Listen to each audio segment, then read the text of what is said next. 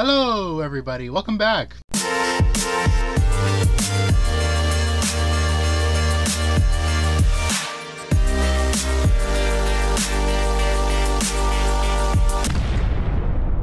Welcome back, welcome back, welcome back to another episode of Riverdale. Um, you know what? No, no more intro. Let's get right into the episode. Let's go. Swanky V. Hey, Still got it. Pray tell, why for have we been summoned? hey guys. She's pissed. And they call me Cherry Bomb. Billy has achieved true sight. Or at least that's one interpretation. Holy shit!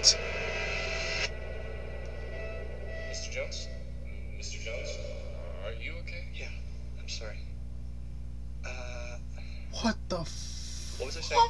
You said. Act on any and all animal impulses. No, we're good. no I'll thanks. you the deeds now, but bring keys for my bowl and your well-oiled libidos. I think Cheryl's inviting us to an orgy. like, Cheryl, what you doing, man? Before the pickings get too slim. you end up with a guy. Why are they allowed to look in it? Tony? Nope. Guess again. Actually, those are mine. Are you sure that you're down with this? It's no fun if you leave with the guy you came with, right? Agreed. Oh shit! This is, but we'll see what happens, Dad. Reggie! Reggie! My thoughts too, Kevin. Drama. Yeah. Because, you know, Jug's been through a lot. But for tonight, just eat. Pause. We're gonna pause for a second. Is it me or does this act this literally mirrors the scene from season one with Jughead and his father where he's talking to him about Jellybean and then he turns and his dad's already asleep. Nice nice parallel. This man, I love this season. This is a great season.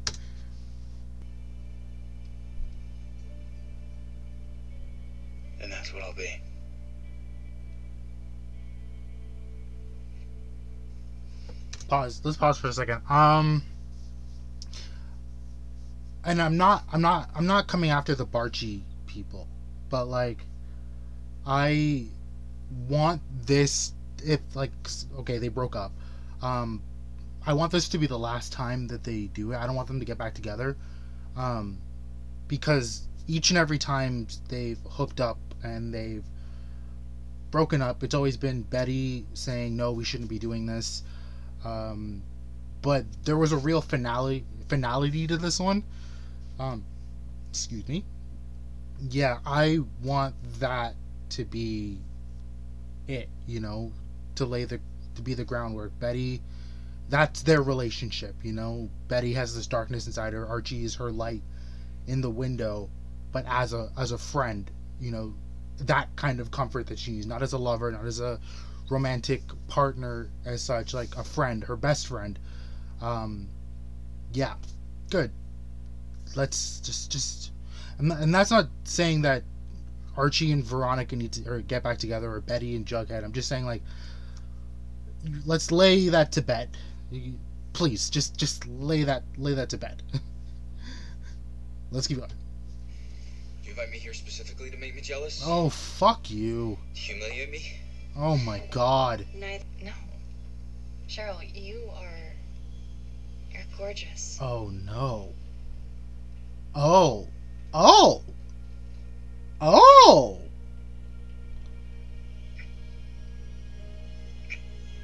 And here I thought I was she was just selling her brother's painting. I see. Interesting. Chad and I are getting a divorce. He's on his way back. to New York. Shocker. Like the pain I felt seeing you unhappy. Mm-hmm. Come on, lover boy. anything, Ronnie. I just I want you Come to on. happy. Reel her in, buddy. Good. Reel her in.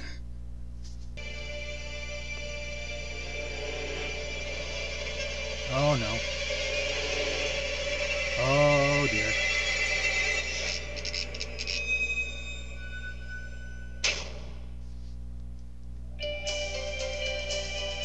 The world said, Yikes! And that was all of this Riverdale episode.